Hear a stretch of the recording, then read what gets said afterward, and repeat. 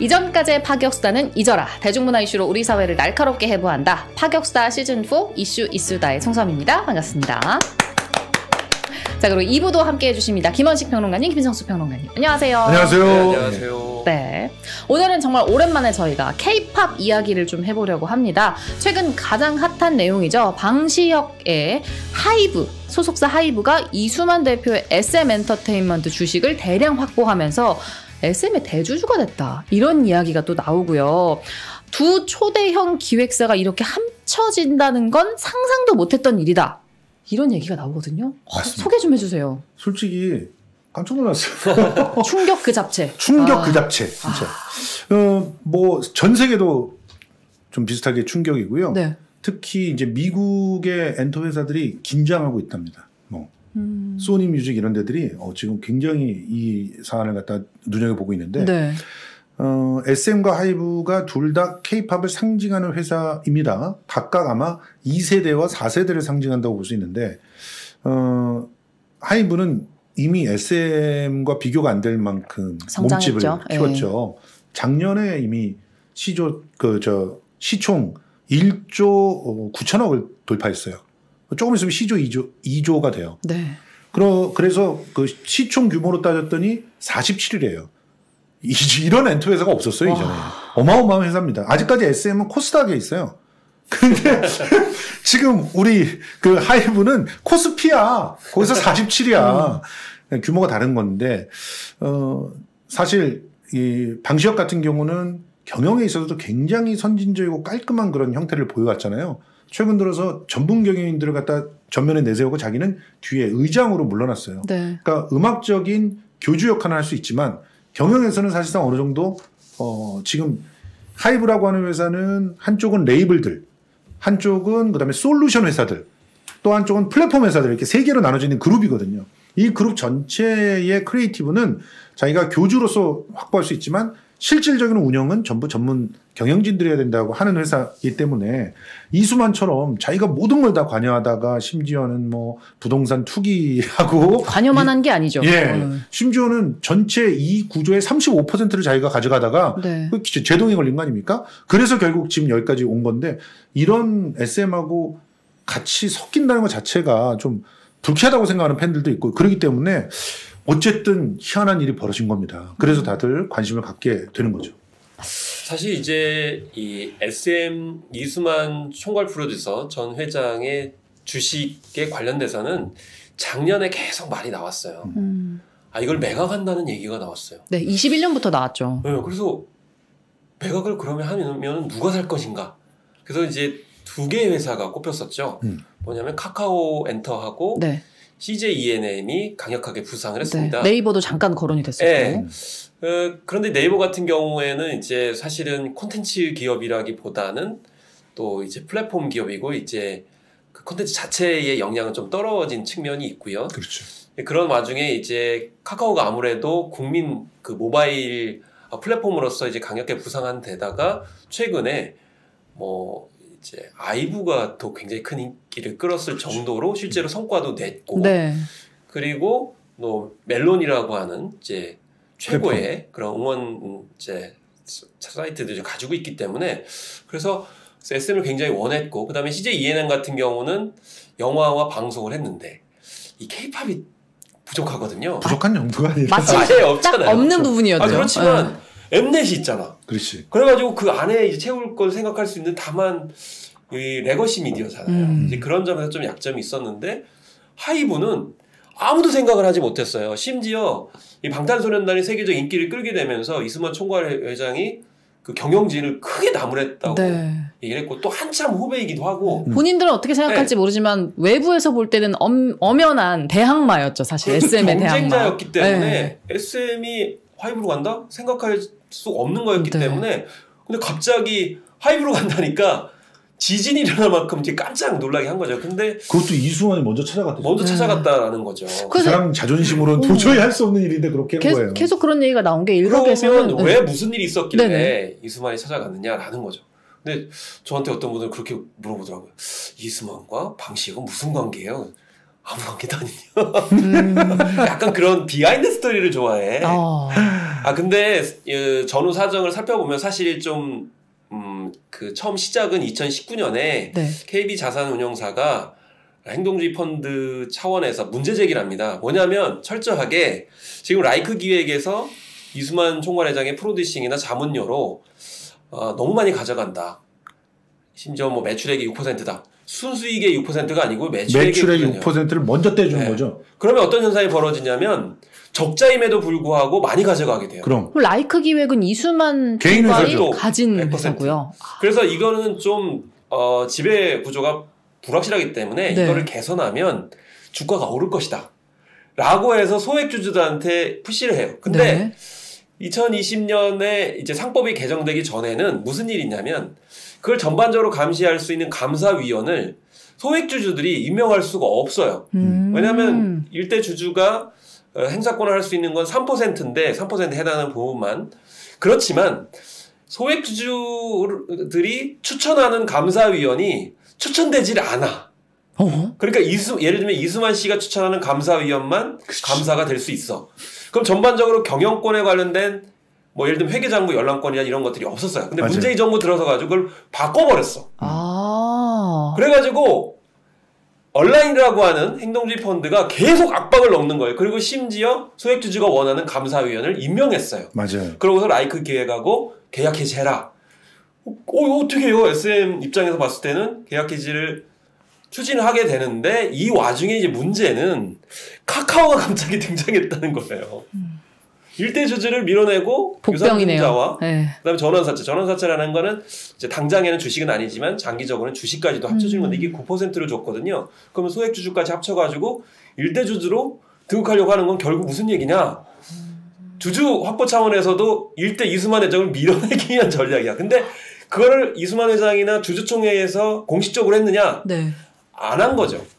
그래서 가처분 신청을 해가지고 이거는 부당하다. 일단 걸어놓고 3월 초반에 최종적으로 법원이 이게 위법하냐 아니냐를 하는데 만약에 여기서 법원이 어, 이게 유상증자한 것이 불법이다 그러면 카카오는 9%를 다 잃어버려요. 아. 그래서 3월 초가 지금 굉장히 초미의 관심사다라는 것을 이제 말씀드린 그럼 이게 지금 상황이 이수만 씨가 카카오와 지금 적대 관계인 상황이잖아요. 예. 이수만 씨가 카카오한테 SM을 뺏기느니 경쟁자인 방시혁에게 줘버리겠다고 세- 선택한 걸까요?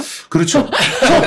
사실은 경쟁자인 방지혁에 준다보다 조금 더 복합적인 게 어. 있는데 지금 자 아까 굉장히 중요한 부분을 지적했어요. 감사가 이렇게 중요한 겁니다. 감사가 딱 들어가서 회계장부를 보게 되니까요. 뭐 이명 계약서부터 시작해서 모든 걸 다 나온 거예요. 어. 그래서 그걸 막 폭로를 하는데 이건 솔직히 이대로 가면 이수만 씨는 배임으로 철컹철컹 될 수도 있어요. 실제로 그 라이크 기획하고의 계약을 사실은 깼어요. 네. 깼, 깼다고 했는데 그런데 이명 계약이 또 따로 있어. 또 있었죠. 그러니까 이런 부분들이 무조건 배임이에요. 이거는 음. 배임에서 벗어날 수가 없고 배임은 횡령과 같이 가, 가잖아요. 그러면 이거는 금액에 따라서 진짜 뭐 아주 심각한 그런 그 상황이 만들어질 수가 있기 때문에 어 이수만은 무조건 강곡만 취할 수는 없는 상황이 됐던 거고요. 네.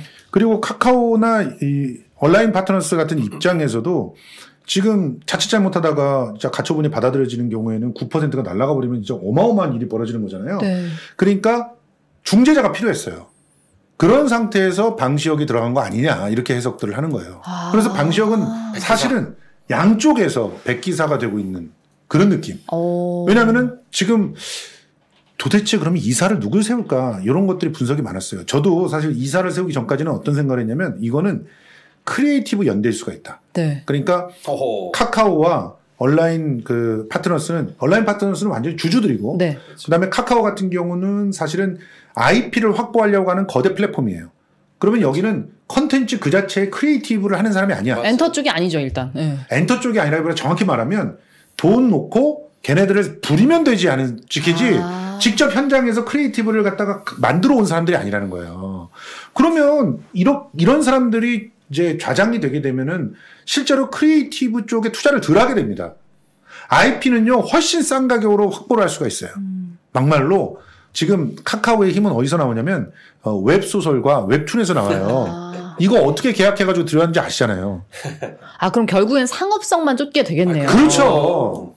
상업성만 쫓게 되는 것을 그 creative 연대가 막는 거 아니냐라고 생각을 했는데 지금 봤더니 creative 연대라고 방시혁이 들어간 것처럼 보였지만 방시혁이 하고 있는 게 지금 전문 경영진들을 배출해서 이수만의 그 임용 계약도 엎어버렸어요. 그래서 이수만이 경영에서 완전히 손 뗀다.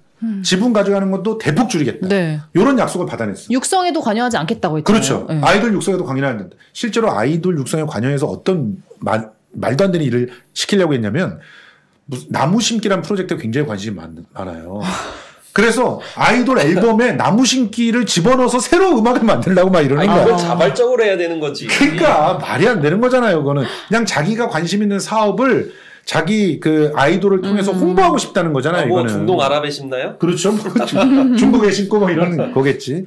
그러니까 이런 식의 어떻게 보면은 이 반크리에이티브적인 행동도 이수만은 서슴지 않고 했었기 때문에 네. 그래서 방시혁이 따져보기에는 일단은 이수만의 오너 리스크를 배제시키고 그리고 카카오와 또 온라인 그 파트너스의 그 내용 없음을 좀 적절하게 견제하면서 음. 중재의 공간을 만들어 놓은 것 같다는 그런 평가인데 네. 이렇게 되면은 이후의 그림이 좀 좋아질 수가 있는 거죠. 그래서 음. 앞으로 좀 더 지켜봐야 될 것 같습니다. 그런데 카카오도 또 가만히 있진 않잖아요. 지금 주가를 확 띄우고 있어요. 뭐 지금 12만 원까지 올라가서 뭐 방시혁이 못 살 것 같다 이런 추측들이 나오고 있는데 네.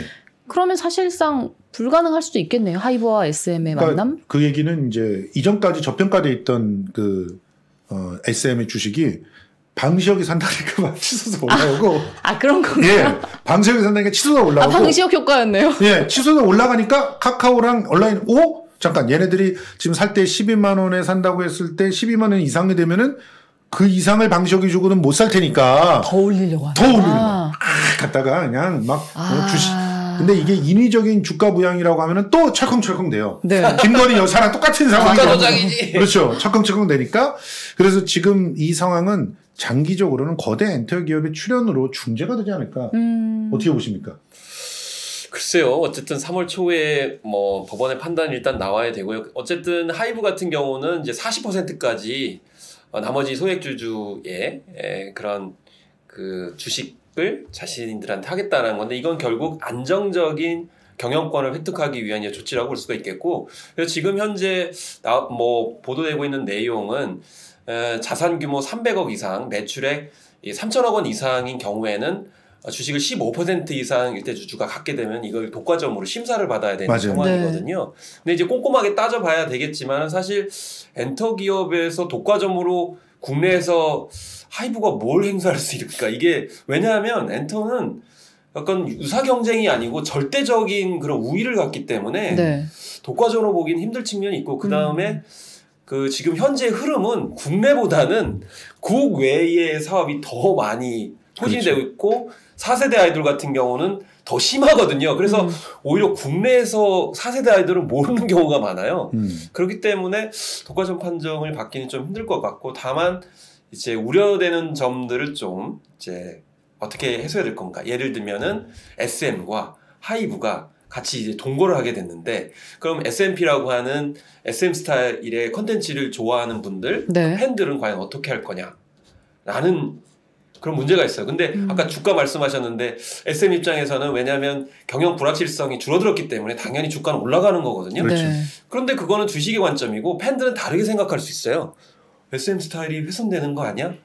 음. IP 활용에 있어서도 뭔가 팬 입장에서는 아닌 것 같다라는 생각이 들고요.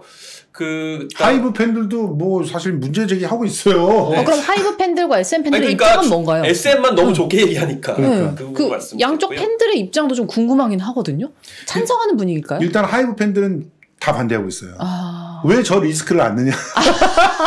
아 지금 폭탄 돌리기 하는 거. 특히 이수만 리스크를 왜 안느냐? 아, 분명히 나중에는 저기에서 독이 될 것이다. 어, 아이, 아이돌들하고 인간적인 그런 그 영향력과 관계들이 다 있는데 분명히 문제될 것이다. 특히 지금 SM 이사들 중에서는 벌써 이수만이 없으면 안 된다 이러면서 외치는 유영진 그런 씨가 그랬죠. 유영진도 그렇고 지금 예, 뭐 굉장히 많거든요. 네. 그러니까 그런 문제들을 왜 떠왔느냐라고 부- 반발이 되게 심하고 음. 또 SM 쪽의 컨텐츠들을 약간 구리다고 생각을 해요. 하이브 팬들이. 아. 그러니까 저런 게 계속 쏟아져 나오면은 우리의 쿨함이 손상될 수 있지 않느냐 이런 얘기를 갖다 하는 것들도 있어서 이 서로의 팬들의 입장 갈리고 있는데 여기서 골수 SM 팬이 아하! 예 우리 송 아나의 네. 그런 느낌은 어떤지 좀 예, 얘기를 듣고 싶어요. 아, 사실 골수 SM 팬이라고 하기는 조금 음, 아쉽긴 합니다만 제가 음. SM 스타일의 노래를 되게 좋아했어요. 그래서 어릴 때부터 계속 그 H.O.T, 동방신기, 뭐 중간에 신화도 음. 있었고요. 동방신기 뭐 쭉 이어져 옵니다. 음. 엑소까지. 그 SM만의 색깔이 있단 말이에요. 그렇죠. 근데 이게 그 세련되다고 느끼는 하이브와 만났을 때 SM에게도 전 득이 되지 않을 거라고 생각하거든요. 그 정말 저 같은 사람들이 있어요. SM만의 그런 스타일을 그래요. 좋아하고 굳이 뭔가 이야기하자면 힙함과는 조금 거리가 있지만 그래도 SM 노래는 딱 들으면 어 SM 거다. 음. 라고 인식이 확실하게 된단 말이에요. 그 아이덴티티를 왜 버리려고 하지? 너무 안타까워요. 분명히 하이브가 가져가면 SM 색깔은 그냥 사장될 거란 말이에요. 어떻게 생각하세요? 그거를 다 또 뭐 사장 될 사장 거라고 보기는 구리다고. 본다면서요. 아니 그 그거는 이제 예를 들어 세계관 뭐 그다음에 그 세계관에서부터 나온 멀티버스 네. 그리고 그 multiverse. universe 근데 이게 사실은 좀 지금 뭐 초반에는 그럴듯하게 들렸지만 지금은 멀티버스가 가- 완 폭망한 그런 상황에서 사실은 그 SM이 오히려 거대한 그런 닭짓을 또 하는 거 아니냐라는 생각들이 있기 때문에 그런 부분에 대해서 편 그 좀 그런 걸 하는 거지 실제로 SM 스타일의 컨텐츠를 다 싫어하는 건 아니거든요. 저 같은 경우도 소녀시대를 얼마나 좋아하는데요. 그러니까 어, 또 다른 무기가 될 거라고는 생각해요. 그래서 저는 좀 긍정적으로 보고 있는 입장인데 네. 하이브 팬들이 다 그렇진 않다라는 거죠. 그게 안타까운 거고 SM 팬들도 이런 우려들 지금 진짜 찐 SM 팬이에요. 오, 지금 SM 어, 대충 SM 팬이라면은 아. 야 하이브를 만나서 날개를 다는 거 아니야 이렇게 생각할 수도 있을 아, 저는 텐데. 매 시즌 나오는 SM 타운의 그 앨범을 참 좋아하거든요. 네. 그 SM만의 색깔이 녹아있는 그때그때 보컬 그룹들끼리 뭉쳐가지고 또 앨범을 내주고 댄스하는 친구들끼리 뭉쳐가지고 또 춤을 추고 하는 것들을 굉장히 좋아하는데 안타깝습니다. 저는 뭐 SM 팬도 아니고 하이브 팬도 아닌 입장에서 네. 얘기하면 어 저는 오히려 어, SM이 SM 3.0 전략에서 IP 중심으로 간다고 그랬거든요. IP 중심이라는 게 너무 어렵게 얘기하는데요.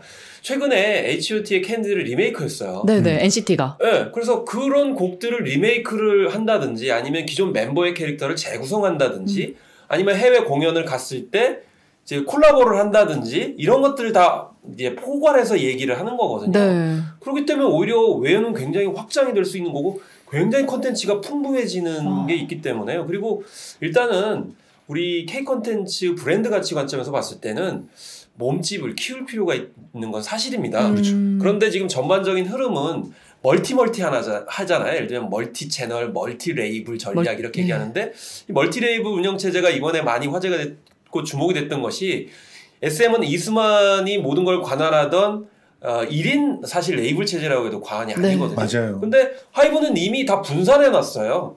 그래서 SM도 그렇게 간다는 거거든요. 그러면 SM 안에 있는 레이블, 하이, 하이브 안에 있는 레이블이 다 각기 이제 멀티로 돌아간다는 건데, 과연 그래서 SM 스타일이 죽을까? 하이브 스타일이 죽을까?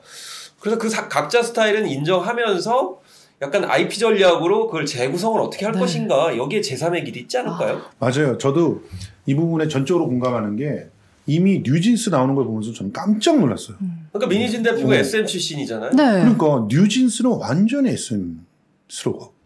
그러니까 나는 어떤 걸 봤냐면 뉴진스에서 어떤 가능성을 봤냐면 그 BTS의 세련됨과 그리고 이 SM의 뭐 정교함. SM의 그 뭐랄까 그 약간 그 SM의 정 정서적인 그런 그 네. 공감대 울림이 있어요. 그게 합해졌다. 음.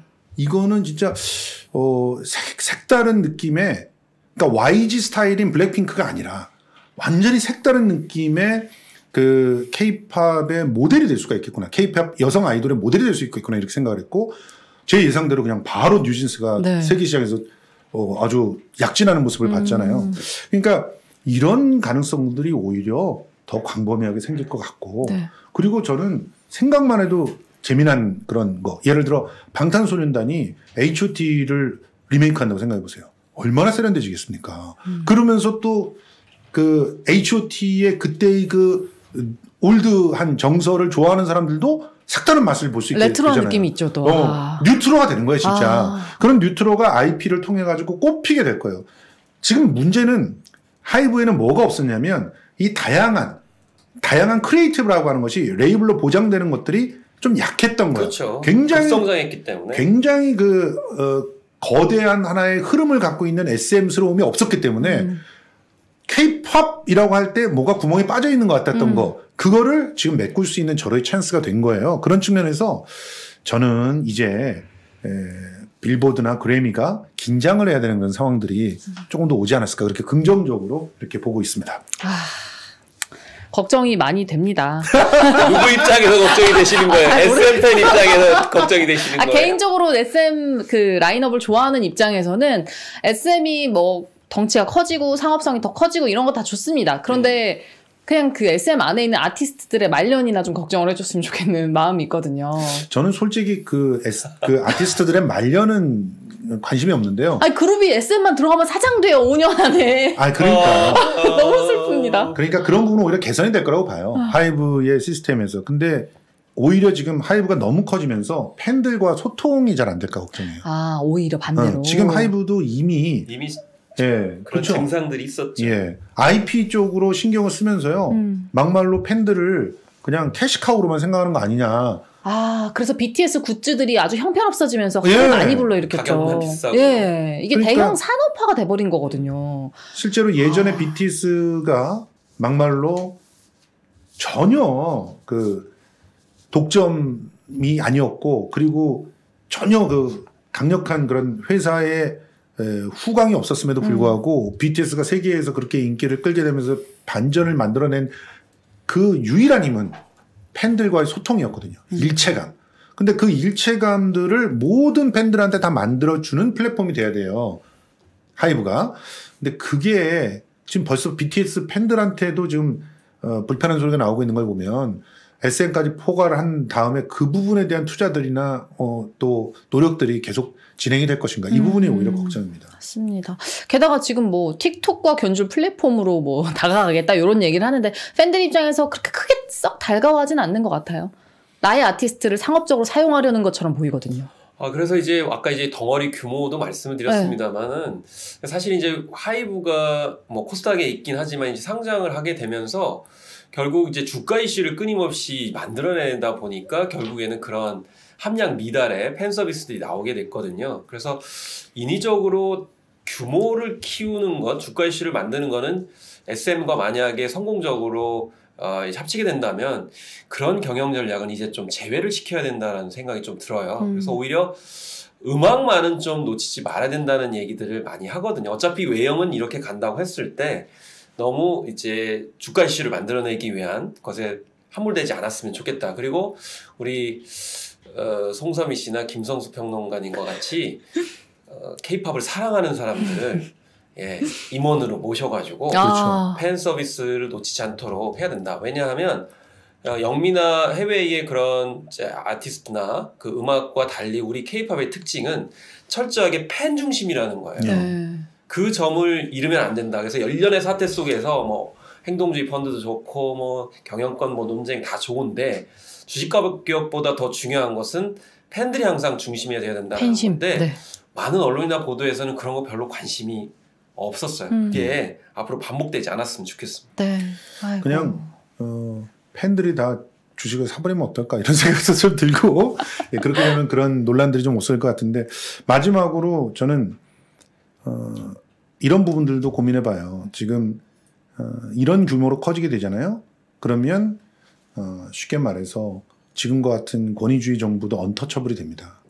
막말로 어, 예전처럼 야 우리 북, 북, 저 부산에서 엑스포 해야 되는데 니들 와서 공연 좀 해. 아이씨 안 하면은 니들 군대 보낸다. 이런 식 짓들 이런 이제- 새- 짓들. 네, 이런 짓들 이제 하기 힘들어집니다. 아, 어, 지금 이, 이 정도 규모의 그 회사가 되고 이제 구체적으로 이 규모의 회사에서 이제 세계 시장에서 더 그 선전하게 되는 일들이 벌어지게 되면은 막말로 어 일개 국가의 권력으로 이렇게 터치할 수 있는 그런 그 규모가 안 되거든요. 그러면 진짜 팬들과 이 기업과의 그 민주주의적 형태의 소통 이것만 보장이 된다면 음. 예, 애초에 BTS 등등이 그렸던 또 다른 세상을 이제 그들 안에서 만들 수가 있어요. 저는 그렇게 되기를 간절히 바랍니다. 네. 네. 부디 원만하게 SM의 아이덴티티도 지켜주고 하이브도 성장하고 윈윈하는 결과가 나, 나오길 진심으로 바라겠습니다. 어, 팬심이 막 느껴져요. 어느 하나 놓치고 싶지 않거든요. 아, 그렇게 되, 겠죠 네, 그러기 위해서는 김성수 TV가 계속 아, 후원과 지지를 할 것으로 저는 의심치 않습니다. 똑바로 길을 가도록. 아 근데 좀 수다도. 위태위태하니까. 아, 지금 약간 슬퍼지고 있으니까 저희 당 충전을 빠르게 좀 해야 될 것 같습니다. 네. 자, 지금 저희 바로 옆에 있는 더 탐란의 농장의 천혜향과 한라봉을 소개를 해드릴 텐데요. 지금 아마 접시에 있는 거는 천혜향 같습니다. 네, 천혜향입니다. 네, 더 탐란에는 춤추는 목수가 집을 짓는 정성으로 발품을 팔아서 엄선해서 제주의 진 면목을 담은 제품들만 판매를 하고 있습니다. 절대 최저가로 고객을 현혹하지 않고요. 최고의 품질과 맛을 고집하는 곳입니다. 더 탐란에 향긋하고 진한 향기가 천리를 간다는 천혜향. 아. 감귤보다 두세 배 정도 크고 달콤하고 새콤한 맛이 진합니다. 선물용 5만 5천 원에 5kg 구매하실 수 있고요. 실속형은 또 4만 5천 원에 구매 하실 수 있습니다. 제주도 한라산을 닮았다고 해서 이름이 한라봉인 한라봉도 소개를 해드릴 텐데 앞에 또 있습니다. 아삭한 과육이 풍부하고 과즙과 당도가 높아서 새콤한 맛이 진한 만감류인데요. 취향에 따라서 한라봉을 좋아하시는 분들도 있고 천혜향을 좋아하시는 분들도 있어요. 아마 좀 원하시는 스타일로 고르시면 될 것 같은데요. 고객분들이 믿고 재주문하실 수 있도록 자신 있게 추천합니다. 네이버나 쿠팡에서 더 탐란에 검색해 주시면 되고요. 010-6235에 4952, 010-6235에 4952로 이름과 주소, 연락처를 보내주시면 됩니다. 맛이 어떠신가요? 말이 필요 없습니다. 천혜향 끝내줍니다. 그렇죠. 이 천혜향이 매력적인 것은 만감류의 여왕이라고 불릴 만큼 이 과육이 굉장히 쫀쫀하면서도 부드러워요. 아, 껍질이 거의 없어요. 그러니까 입안에 딱 들어가는 순간 과육밖에 안 남아요. 응. 그리고 오, 예쁘다. 이게 혀로 살짝만 이렇게 힘을 주면은 과즙이 온 입을 가득 채우고 거기서부터 향이 머리끝까지 이렇게 뻗어나가는 와. 천혜향 이거 실속형인데 이 가격에 살 수가 없어요 이런 제품을 네. 이렇게 당도 높은 제품을 살 수가 없으니까 45,000원입니다 음. 5kg에 45,000원 25개 정도가 가거든요 정말 괜찮습니다 음. 예. 너무 예뻐요. 너무 깔끔하고 예쁩니다. 천혜향, 더 탐란의 천혜향 만나보시기 바랍니다. 자, 두 번째 광고는 더 착한 보험 클리닉입니다. 보험은 여러 가지 들어있는데 내 보험이 제대로 되어 있는지 모르시는 분들이 있거든요. 그럴 때 고민하지 마시고요. 지금 착한 보험 클리닉에 전화 주시기 바랍니다. 암과 같은 질병이 진단됐을 때 최대 얼마까지 보장받는지, 그리고 지금 자기 나이에 꼭 들어야 할 보험에는 어떤 것들이 있는지 알려드립니다. 통장에서 뭉텅뭉텅 돈은 빠져나가는데 혜택은 보지 못하셨을 때 착한 보험 클리닉이 직접 전문 가 무료 상담 해드리고요. 보험이 얼마나 쓸모 있는지 알려드립니다. 성수대로, 성수대로의 처음부터 지금까지 늘 함께 해주고 있는 더 착한 보험 클리닉 이제는 여러분을 지켜드리겠습니다. 전화 010-7612-3303 010-7612-3303 전화 한 통화만 해주시면요. 직접 방문해서 무료 상담 해드립니다. 카카오톡 채널 친구 추가해주시면 24시간 상담 예약도 가능합니다. 착한 보험 클리닉도 많이 많이 찾아주시기 바랍니다. 네, 오늘 방송은 여기서 마치겠습니다, 여러분. 다음 주에 만날게요. 감사합니다. 물러갑니다